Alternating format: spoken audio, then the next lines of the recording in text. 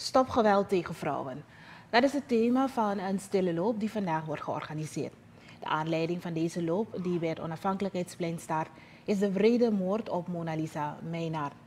Onze nieuwsdienst heeft een gesprek gehad met enkele initiatiefnemers. Sandra de Wit zegt dat dit soort type geweld voor nu en altijd een halt moet worden toegeroepen.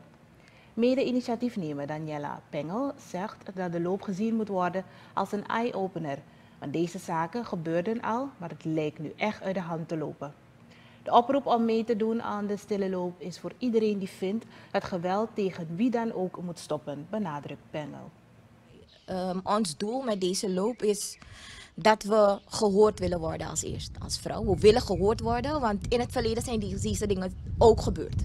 Toch? We, we, willen niet gaan zeggen dat dit de eerste keer is. Het is in het verleden ook gebeurd. Maar het leek alsof er niets gedaan werd toch? Niet vanuit uh, geen enkele hoek. Wij krijgen het gevoel als vrouw dat we niet gehoord worden. We worden niet gehoord. Um, je stapt naar de politie misschien, maar ook daar lijkt het alsof er niets gedaan wordt. Dus um, ja, we zijn de mening toegedaan dat er nu echt stappen ondernomen moeten worden. Wat wij doen gaat niet echt om Mona. Het gaat wel van, oh, Asan is gebeurd naar Adame dis.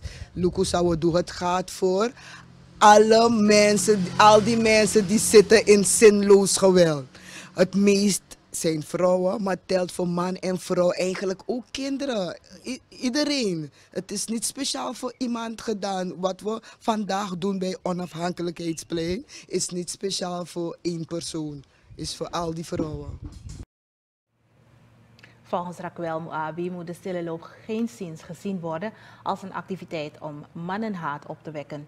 Het is een bewustwordingsactiviteit en een staart om geweld over het algemeen te stoppen, benadrukt Muabi.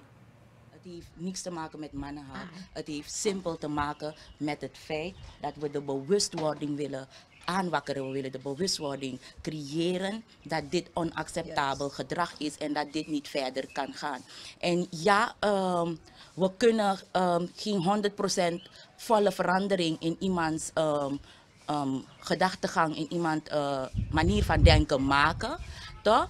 Maar als we één persoon hebben bereikt, is het al voldoende voor ons. Als we bij één persoon, een mind switch is een, is een proces, toch? Dus we kunnen niet gaan zeggen van ja, vandaag willen we dat iedereen moet stoppen tegen geweld, uh, met geweld tegen vrouwen. Maar we kunnen wel er naartoe werken. Toch? We kunnen er naartoe werken en proberen om mensen te bereiken dat het anders kan. Dat het onacceptabel gedrag is. Dat we dit niet meer willen accepteren. Ja? En net wat ik al zei, um, we hoeven geen 10.000 mensen te bereiken. Als we één hebben bereikt, is het al genoeg voor ons. Raquel Muabi, mede-initiatiefnemer van de Stille Loop, die vanmiddag wordt gehouden op het Onafhankelijkheidsplein.